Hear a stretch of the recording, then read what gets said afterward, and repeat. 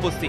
ଉଣେଇଶହ ନବେ ମସିହାରେ ସୁଦାମ ମାର୍ଣ୍ଡି ଏହି ନିର୍ବାଚନ ମଣ୍ଡଳୀରୁ ସ୍ୱାଧୀନ ପ୍ରାର୍ଥୀ ଭାବରେ ପ୍ରଥମେ ବିଜୟୀ ହୋଇ ରାଜନୀତି ଜୀବନ ଆରମ୍ଭ କରିଥିଲେ ଏହା ପରେ ପରେ ଉଣେଇଶହ ପଞ୍ଚାନବେରୁ ଦୁଇହଜାର ଚାରି ପର୍ଯ୍ୟନ୍ତ କୁଳିଅଡ଼ା ନିର୍ବାଚନ ମଣ୍ଡଳୀରୁ ଦୁଇଥର ବିଧାୟକ ଓ ଦୁଇହଜାର ଚାରିରୁ ଦୁଇହଜାର ନଅ ପର୍ଯ୍ୟନ୍ତ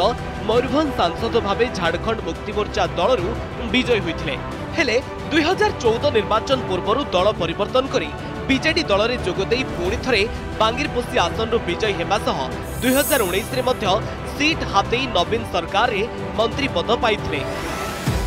ଆଗାମୀ ନିର୍ବାଚନ ପାଇଁ ଦଳ ତାଙ୍କୁ ଏଠାରୁ ଟିକେଟ୍ ନ ଦେଇ ଅନ୍ୟ ସ୍ଥାନକୁ ନେଇପାରେ ବୋଲି ଶୁଣିବାକୁ ମିଳୁଥିବା ବେଳେ ସୁଦାମ ପୂର୍ବ ପ୍ରସ୍ତୁତି ଆରମ୍ଭ କରିସାରିଛନ୍ତି ଏଥିପାଇଁ ସୁଦାମ ନିଜ ପୁଅ ନେଲସନ ମାର୍ଣ୍ଡିଙ୍କୁ ରାଜନୀତି ମୈଦାନରେ ଓହ୍ଲାଇବାକୁ ପ୍ରୟାସ ଆରମ୍ଭ କରିଥିବା ନେଇ ଚର୍ଚ୍ଚା ହେଉଛି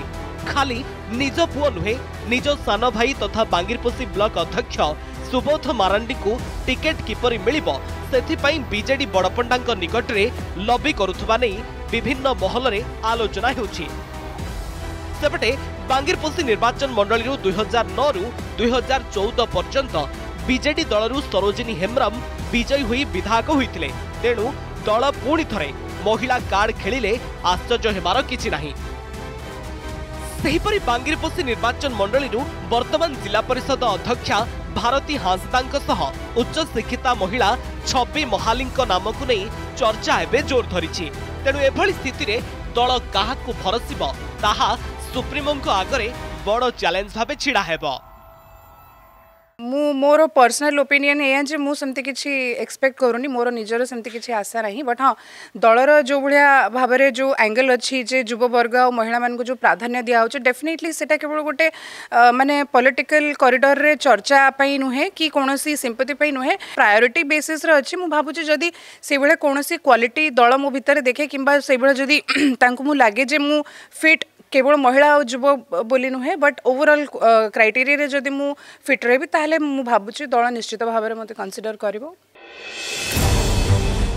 ସେପଟେ ବିଜେପି ପକ୍ଷରୁ ପୂର୍ବତନ ପ୍ରାର୍ଥୀ ସୁଗତା ମୁର୍ମୁଙ୍କୁ ପୁଣି ଥରେ ବାଙ୍ଗିରପୋଷି ନିର୍ବାଚନ ମଇଦାନରେ ଓହ୍ଲାଇବା ନେଇ ଚର୍ଚ୍ଚା ଏବେ ଜୋର ଧରିଛି ସୁଗତା ଦୁଇହଜାର ଉଣେଇଶଠାରୁ ନିଜ ସଂଗଠନ ସୁଦୃଢ଼ ରଖିବା ସହ ଅଞ୍ଚଳବାସୀଙ୍କ ସୁଖ ଦୁଃଖରେ ଭାଗିଦାରୀ ହୋଇ ନିର୍ବାଚନ ଲଢ଼େଇ ପାଇଁ ପ୍ରସ୍ତୁତି ଜାରି ରଖିଛନ୍ତି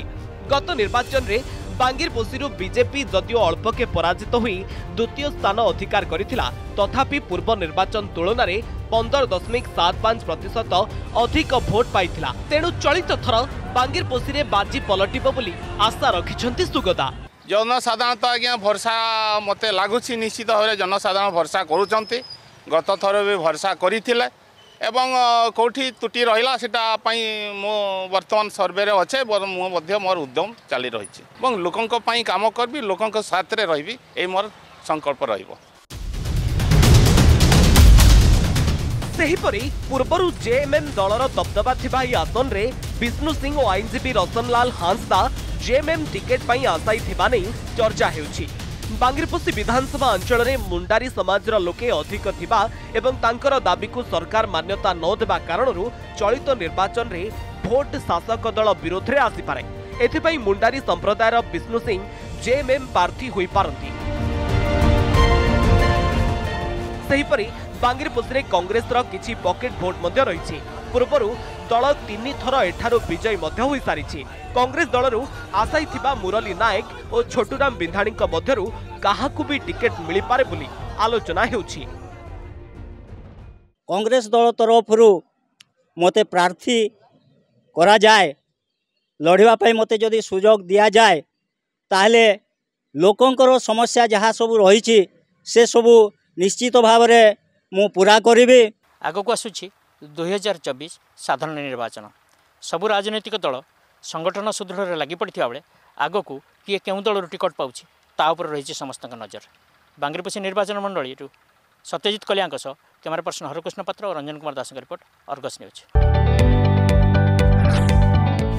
ଯଦି ଆପଣଙ୍କୁ ଆମ ଭିଡ଼ିଓଟି ଭଲ ଲାଗିଲା ତେବେ ଆମ ଚ୍ୟାନେଲକୁ ଲାଇକ୍ ସେୟାର ଓ ସବସ୍କ୍ରାଇବ୍ କରିବାକୁ ଜମା ବି ଭୁଲନ୍ତୁ ନାହିଁ